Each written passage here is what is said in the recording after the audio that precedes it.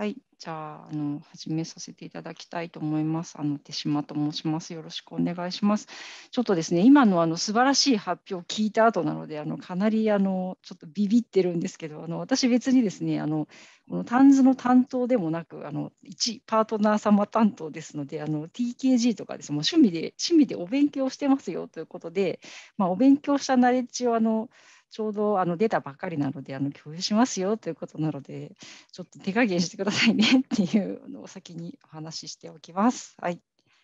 で、はい、あのここ、先ほどもありましたけれども、あくまでですね、これあの私があの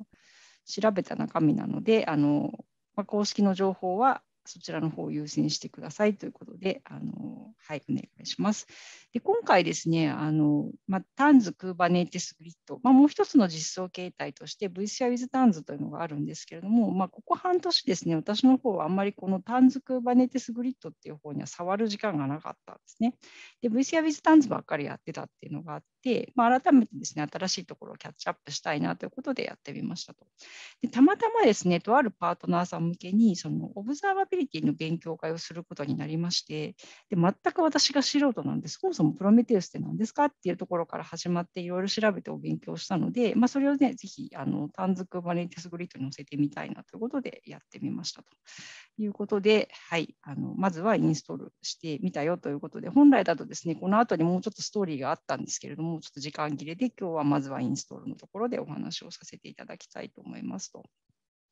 いうことで、まあ、ご存じない方もいらっしゃると思うので、あのタンズクーバネテスグリッドってどんなものというのを簡単にご紹介をした上でですね、あのこの今回9月の頭に出てきたこの1.4というバージョンでどんなもの、機能が入ってきたっていうところをお話をしたいと思います。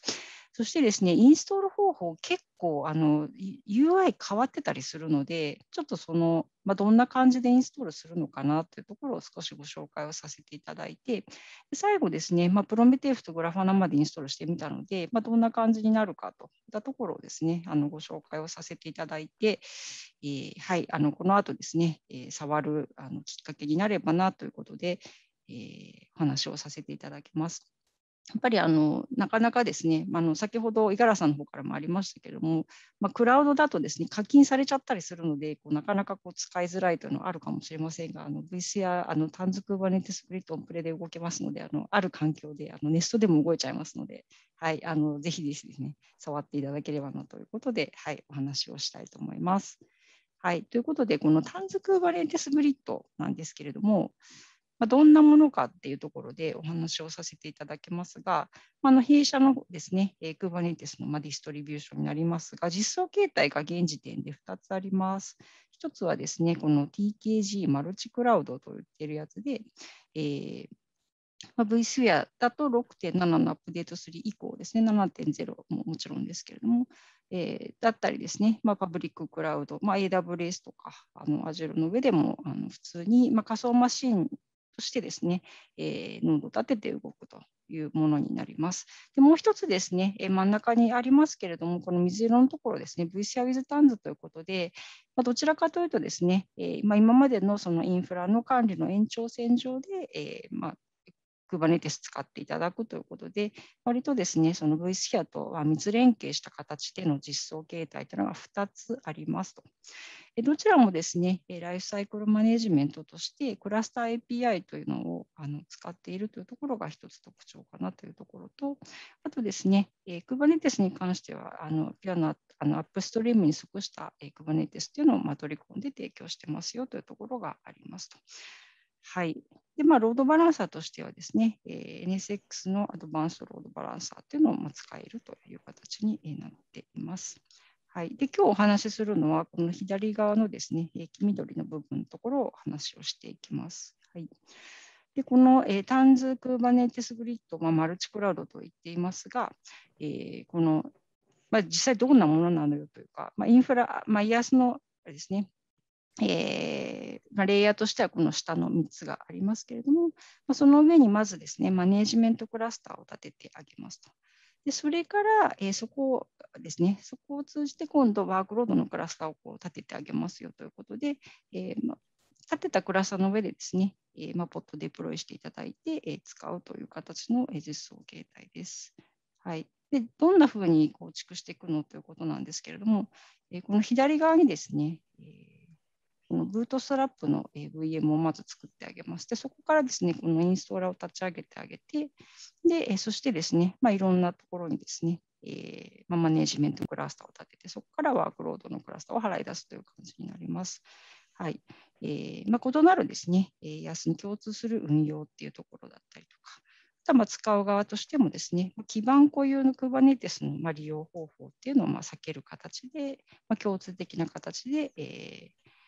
まあ一貫した運用を提供するといったところになるかなと思います。あとですね、あの特徴としてですね、まあ、今ですね、NSX のアドバンストロードバランサー、まあ、ABI を使えるという形になっています。まあ、AWS だったり Azure っていうのは、まあ、クラウドのロードバランサーを利用する形になりますけれども、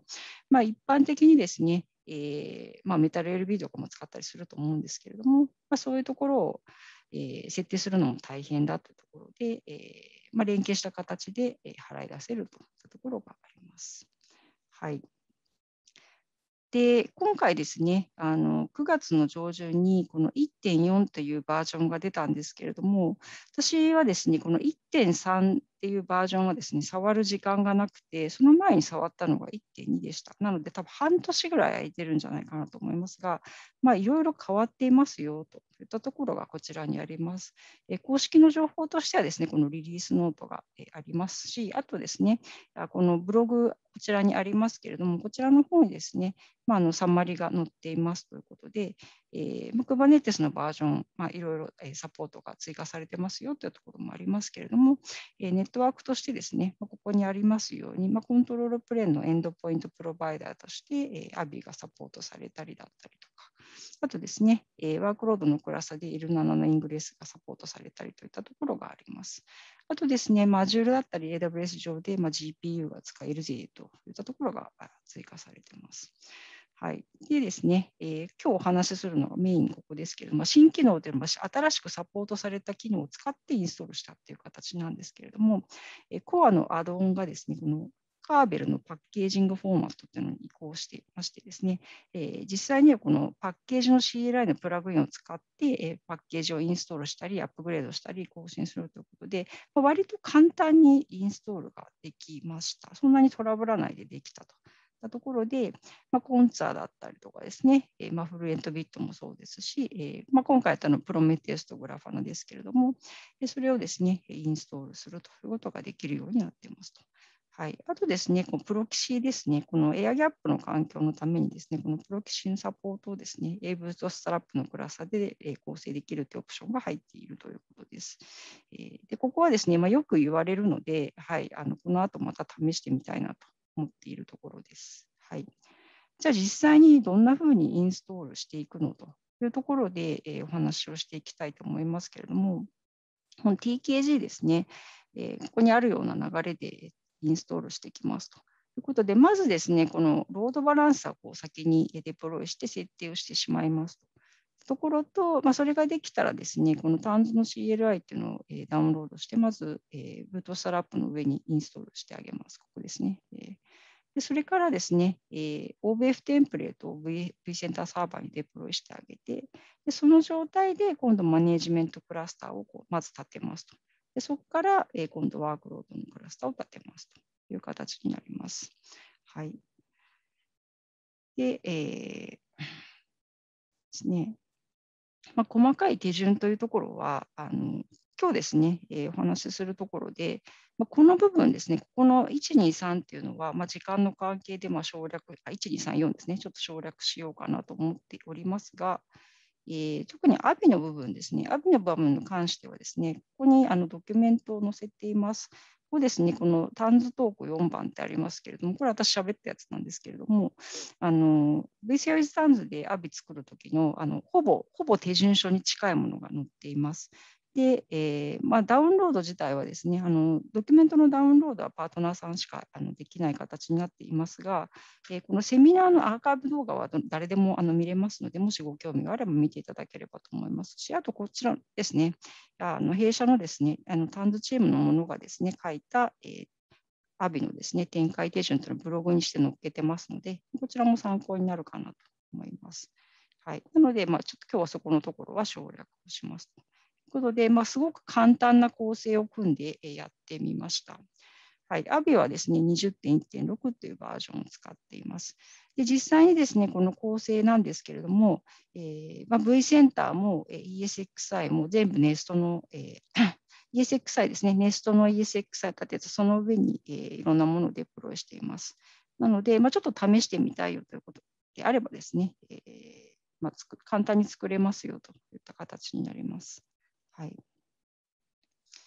はい、で実際にじゃあデプロイどうするのというところで、まあ、CLI をあのこれですね、Ubuntu の上にインストールしてあるんですけれども、このブーストラブートストラップの VM の上からですね、このタンズマネジメントクラスター UI っていうのを、えー、叩いてあげるとですね、こんな UI が立ち上がります。で、まあ、どこにインストールするのよということで、まあ、今 vSphere を選んでたりしますけれども、でこんな形でですね、V センターと連携しながら進んでいきます。はい、でここでですね、V センターの、まあ、FQDN だったら IP アドレス入れてあげて、でコネクトってやるとですね、まあ、こんなのが出てきます。VCR7 の場合はですね、その VCR with TANS という実装形態もあるので、どっちでやるのっていうのが出てくるので、まあ、この、えー、TANS Kubernetes Grid マルチクラウドですね、こっちの方をあのインストールしたいときにはこっちを選んであげて、まあ、進めるっていう形になります。はい。で割とですね、あの GUI 自体は分かりやすいんじゃないかなと思います。で変更点として、このマネジメントクラスターの設定をするところですね、昔は KubeVip しか選べなかったんですけど、ここ AVI も選択可能になっています。はい。で、あとですね、はい。そうですね。はい。で、まあ、AVI の設定が、ま、ここら辺にありますけれども、まあ、えー、そうですね。こは変わってないですね。あと、ここにですね、その先ほどあったプロキシの設定とかが入るようになってます。はい、あとですね、ここに OpenID Connect の設定だったりとか、LDAP の設定っていうのが選べて、ここに設定ができるようになったっていうのが追加されています。はい、であとですね、この TMC との連携っていうのもこの UI からできるようになっていて、このトランスミッションコントロールのですね、レジストレーションの URL をここに入れると連携してくれるようです。はい。なので、あの昔、えー、TKG1.2 の段階からするとですね、相当変わってるなっていうのが、まあ、私の印象でございます。で、ここでですね、 Deploy Management Cluster ってやると、えーまあ、こんな感じでですね、えーまあ、順番に、えー、バリコンフあのコンフィグをバリデーションして、えー、クラスターの構成作ってってところでずっとこう進んでいくんですけれども、はい。まあですね、まあ、通るかなということで、あの特に問題なくですね、え今回は作ることができました。はいまあ、そんなですね、トラブらないでいけると思います。これがまできた環境ですけれども、まあ、vSphere ですね、V センターがあって、クラスターがあって、ここにこのマネジメントのクラスターが立っている形になってます。はいでここまでできたところで、今度ですね、このワークロード、このワークロードのクラスターのあの設定をですね、YAML に書いてあげて、これをですね、まあ、このコマンドを打ってあげるとですね、クラスターができますよということで、まあ、こんな形でですね、ここにワークロードのクラスターもできてますよと。まあ、次に AB もちゃんと立ち上がってますよねという感じになってま。す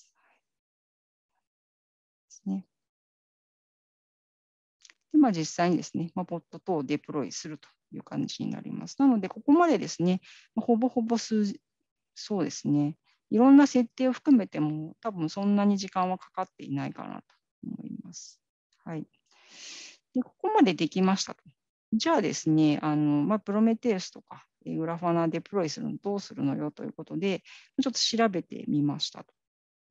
で、今回なんですけれども、この T 記事1.4から、この今までアドオンとかエクステンションとして提供されたものがですね、このカーベルという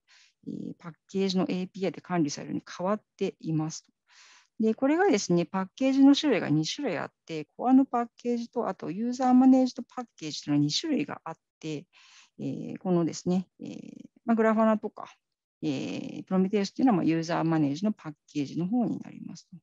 でそれをですね、まあ、タンズの CLI 使って、えー、パッケージのリポジトリから、あるいはですね、えーまあ、パッケージのリポジトリ、まあ、ターゲットクラスターに追加したパッケージのリポジトリからインストールできるという形になっていますと。いったところがまあ一つのですね、まあ、大きな変更点かなと思います。じゃあ実際にどんなパッケージが入っているのっていうところがですね、これあの公式ドキュメントから、えはい、あの持ってきたものですけれども、これがデフォルトですね、このユーあのコアのパッケージということで、まあ、AKO だとか、まあ、アントレアとかですね、そのものが入っていると。こっちがユーザーマネージということで、えログだとか、え、ま、モニタリング関係といったところがですね、こういうところに入ってたりしますと。はい、実際にですね、このパッケージの、えー、CLI 叩いてみるとどんなふうに見えるかというとですね、ま、このタンズパッケージアベイラブルリストを見ると、まあ、全部こう見える形になっています。はい、じゃあどうもあるらしいので、じゃあインストールしてみようと思ったんですが、えー、このプロメテウスとかをインストールするときはですね、このサートマネージャーとかですね、コンツァーとかをインストールしなきゃいけないというのがあって、えー、それを順番に試してみました。で、このですね、サートマネージャーに関しては、特にですね、えー、まあ、ドキュメントを見れば、あの何の問題もなく、えインストールができます。はい、単純にですね、え、サートマネージャーでパッケージの名前で、えー、入れてあげて、バージョン入れてあげれば、まあ、これで立ち上がったのをインストールできちゃうので、まあ、非常に簡単でした。はい。で次、コンツァーなんですけど、こちらに関しても、あのこの最初ですね、この構成データ、何入れればいいのかよくわからなかったんですけれども、このサンプルもドキュメントにあるので、ドキュメント見ながらやれば特に問題なくできると思います。で、あの確認方法もですね、あの全部ドキュメントの通りにやれば、あのそんなに問題ないかなと思います。で、これこれですね、まあ、エンベディットエンボイの管理インターフェースにアクセスしたものですね。これが管理インターフェースになりますけれども、まあ、これ動作確認の方法としてドキュメントに載っているものです。まあ、特にですね、こちらもあのトラブらなかったといった形です。で、ここまで来ましたと。で、次ですね、じゃあ、プロメテウスどうすんのよと。いったところで、やっぱ最初にここで一回引っかかったのはですね、あのこの今、直前にあの設定した、えーと、イングレスの設定をこの設定ファイルに入れてあげなきゃいけないんですけれども、これですね、こうか。このプロメテウスデータバリューズやんぶるってありますけど、まあ、この中身ってじゃあどうやって設定すればいいんですか？デフォルトが分かりませんということなんだったんですけど、まあ、これもですね、あのここにあるようなあの手順でですね、パッケージのデフォルト構成のテンプレートを取ってきて、そこに対して修正をかけてインストールしてあげるだけでできました。なので、それほどあの難しいことではなかったです。でもこのネームスペース書いて、でこのですね FQDN だけ書いてあげて、まあ、それをちゃんとですね DNS に登録してあげるということをやれば良いという感じです。で、まあ、プロメテウスとグラファナ、まあ、あの同じ IP アドレスに振ってますけれども、まあ、こんな形でですね、えー、やるだけで、えー、普通にインストールできましたという形ですね。まあ、同じようにインストールしてあげて、えーまあ、ちゃんとサービスとしてですね、立ち上がってるっていうのは、まあ、確認できて、で、ダッシュボードにアクセスするとですね、まあ、こんな形になります。はい。で実際にですね、先ほどのそのエンボイの管理インターフェースで、まあ、こんなですね、えー、クラスターのデフォルトトータルマッチカウントというのがあったので、まあ、これをそのままですね、じゃあ、えー、プロメテウスの方から見るとどうなるの？ということで、えー、グラフで見るとこんなふうに見えます。はい、でついでにですね、まあ、アラートマネージャーとかもこんな、えー、参照ができたので、まあ、動作としてはちゃんとしているなというところが確認できました。はいで最後ですね、グラファナじゃあ、えー、どうやってインストールするのかよといったところなんですが、これもですね、えー、特に問題なくできました。で、最大のですね、課題のですね、構成情報に関しては、やっぱ同じようにテンプレートをデフォルトで持ってきてあげて、で、その後ですね、あのこのネームスペースでそのシステムダッシュボードとこの FQDN だけ入れてあげれば、まあ、特にえ問題なくですね、えこんな、えパッケージインストールコマンドでインストールできちゃいましたということで、まあ、初心者でもインストールできたぜという感じです。はいまあ、そうは言いつつですね、これをあのインストールしてたのは深夜だったので、まあ、やっと寝れるかなという形でですね、えグラファナのあの画面が立ち上がったときはまあなかなか嬉しかったんですが、まあ、そんなことで喜ぶなよとあの指揮者に言われてしまうかもしれませんがですね、まあ、一応ですね、あのプロメテウスのデータを、えグラファナで見るとところがまできるようになってですね、まこれ見てあげると、こんな形で画面が見えますと。はい、やっとですね、まここで使える状況になったので、さらにですね、実際にこういろいろですね、コーディングをしてですね、動かした結果からこれがどうなるかっていうストーリーがあったんですが、まあ、今回はちょっと時間切れてしまったので、また次回以降でお話しするチャンスがあればなと思ってますと。はい。でですね、まあ、お世話になったコマンドということで、ここにあの CLI のリファレンスを入れてあります。で、この YAML のデータですね、やっぱりこう、間違って入力しちゃって、消すのどうすんのとかですね、あとですね、やっぱりこう、インストールしてみたものの、一瞬うまくいかないといった時がありました。で、消して、えー、見るとって時ですね、このインストールもされたパッケージを消すっていうコマンドで、ここがデリートじゃないんですよね。なので、まあ、こういうコマンドでパッケージ消して、もう一回インストールしたりですとか、あとはそのアップグレードするときですね、このインストールされたものをアップグレードするということで、えーまあ、構成ファイルを含めて、えー、インストールをしてあげるとですね、えー、割とですね、えー、まあ、初心者でもうまく、えー、インストールができるということで、ここら辺はですね、覚えておくとですね、いいかなということで、最後にこちらの方に書かせていただきました。はい、ということです。はい。で、まあ、ちょっと短くて恐縮なんですけれども、あのですね、あの先ほどのあの素晴らしいプレゼンを見た後ですね、もう自分の心が痛いんですけれども、あのちょっとここまでにさせていただきたいと思います。はい、終わりです。